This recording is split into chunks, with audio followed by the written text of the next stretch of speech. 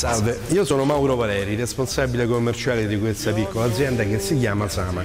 Noi ci occupiamo di laccatura e lucidatura mobili per conto terzi e siamo sul mercato da circa 32 anni. Lavoriamo con gli artigiani, lavoriamo con le piccole realtà lavorative, ma lavoriamo anche per le grandi aziende. Nasciamo, diciamo così, con un cuore artigiano e siamo arrivati oggi a un certo tipo di tecnologia che ci permette di fare anche grandissimi quantitativi di lavoro.